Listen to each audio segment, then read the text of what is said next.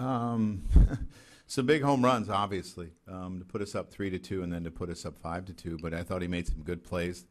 The play he made on the ball, the last ball off of Clippard. I mean, that's an outstanding play in center field. So he continues to shine, and um, he's been really helpful. How different has his demeanor been this year? Is it apparent to you that he has more confidence when he goes out there?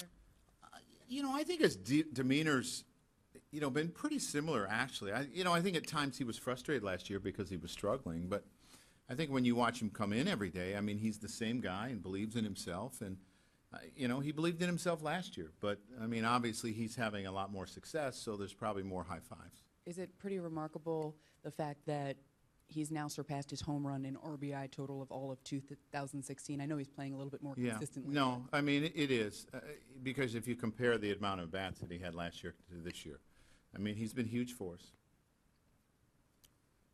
Andrew? Overall, what stood out about Jordan Montgomery? Um, really good first inning.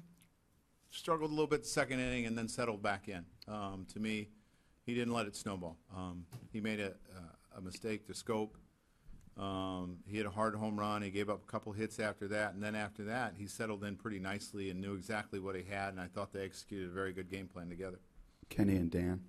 Joe, to get three straight uh, starting pitching performance like you got now against your divisional rivals, could you realistically anticipated that? You can't ask for any more for what these guys are doing. Um, you know, I think Sevy's on the mound tomorrow. And let it continue. I mean, he's been throwing really well too. So, uh, you know, we've been in a really important stretch here. Uh, so, you know, we got a chance, you know, tonight to win the first game, and, and we did it. Now let's go out and try to build on it.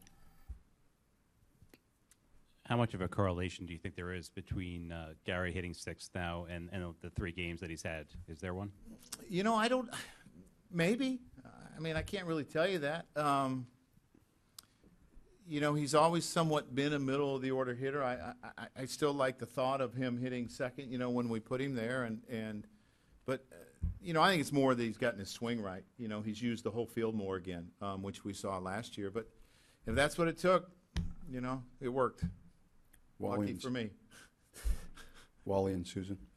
Joe, I know it's not a decision you have to make right now, but the way Hicks is playing when Ellsbury does come back, is there any possible way, unless he goes into a tailspin, that this guy's not your everyday center fielder? He's going to play a lot, Wally. I mean, that's the bottom line when, when it comes back. And, you know, I know that at some point I'm going to have to give Gardy a day off. I'm going to have to give Judge a day off. I'm going to have to give Hicks a day off, but he's going to continue to get a ton of at-bats. Considering that Montgomery pitched against these guys just last week, how impressive was what he did? Um, really good. You know, I said, like I said, he had the, the, the tough second inning. I think he gave up three or four hits maybe in that second inning, a walk and three hits, but then he settled in really nicely, and they got some big right-handed bats, and he did a good job. Right here in the middle. Uh, speaking of those big right-handed uh, bats, uh, might be overshadowed by the late offense, but what impressed you the most the way he attacked Jones with a runner on third when it was still tied at two? He just stayed within himself. You know, I didn't. I- I didn't think he overthrew any pitches. Um, I thought, you know, he got ahead, then he expanded with his curveball and made an excellent pitch. You know, with two strikes, got him to chase, and he just stayed within himself.